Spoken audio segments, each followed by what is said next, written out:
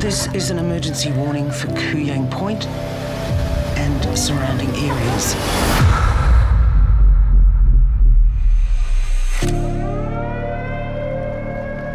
There is a bushfire to the west that is out of control, and with the current wind direction is moving towards town. I just drove up and I was so ready to see it all gone.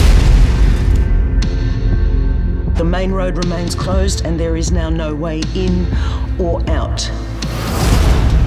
Assembly areas are established at the wharf. You are in danger and need to act immediately in order to survive. What are you doing?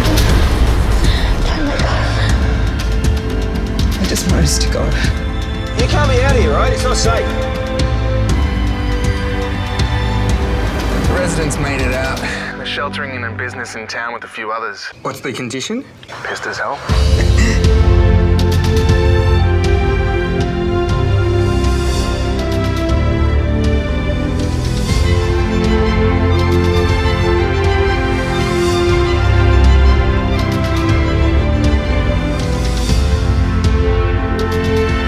Hold on, everyone.